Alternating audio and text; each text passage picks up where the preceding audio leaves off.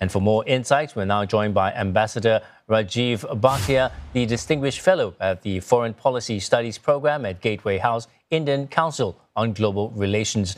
Now, Ambassador, BRICS leaders uh, adopted a joint declaration following the summit in Kazan. Uh, what of that declaration stood out for you most?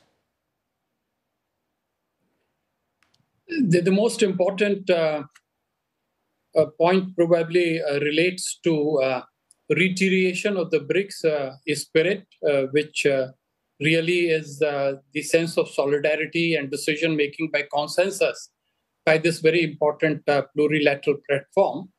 But besides, I think there is a clear disclosure about how the grouping wants to go ahead with the expansion of uh, this uh, institution, uh, they have taken the view that there is a need to have a new category, uh, category of dialogue partners uh, for BRICS. So that is very important.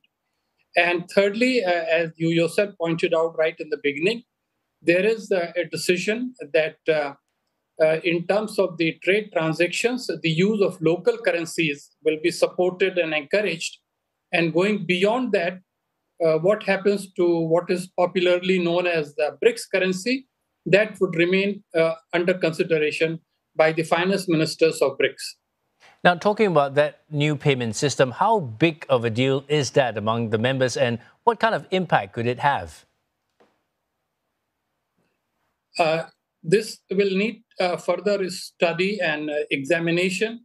as you know, the declaration named as the Kazan Declaration has just been uh, issued. Uh, but what is clear is that very uh, very evidently, the members uh, want to use uh, local currencies to the extent possible because that system is fast and safe and secure and inexpensive. And obviously, in this context, the use of digital technology or digitech, as we call it, will be uh, promoted as much as possible. So it is significant, but how significant, that will have to be still studied and examined by the experts. Now, as, now, as we know, the BRICS countries are among the world's largest producers of grains. But can Mr. Putin's idea of a grain exchange system actually benefit the group's members?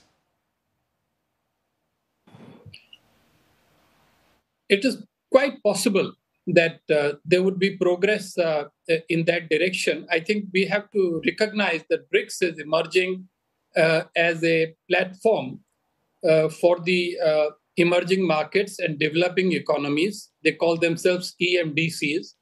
And here they are particularly focused on protecting the interests of the developing countries, uh, the real members of the global south. So they are suffering from, uh, you know, the increased prices of uh, food uh, and fuel and fertilizers. So in that context, uh, the grain exchange program uh, and also other measures to improve agricultural production and uh, trading in agriculture, this I think uh, would be uh, significant aspects of economic cooperation among BRICS member states. Now, as we reported, there were many issues that were raised in the declaration, but the war in Ukraine was hardly mentioned in the final declaration. Why do you think that's so? Uh, to be uh, factual, actually, the word Ukraine has been mentioned in the declaration.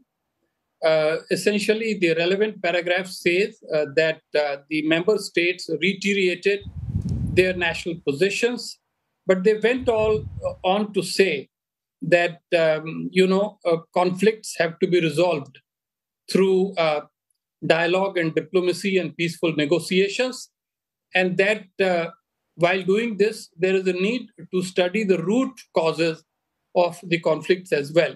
So, this is the best they could achieve through consensus. As you know, Russia is uh, uh, a premier member of BRICS. Uh, it is uh, the party involved in the Ukraine conflict.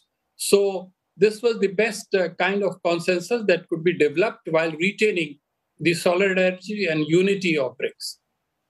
Now, this summit in Russia gave Vladimir Putin the opportunity to flaunt his nation's standing on the world stage despite Western efforts to ostracize uh, Moscow over its war in Ukraine.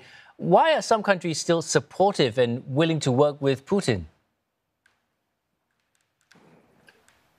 Well, this is the heart of the question. Um, I think the answer to this is that, um, you know, uh, the Russia Ukraine conflict looks different when viewed from the US and Europe to what uh, it looks uh, from Asia and Africa.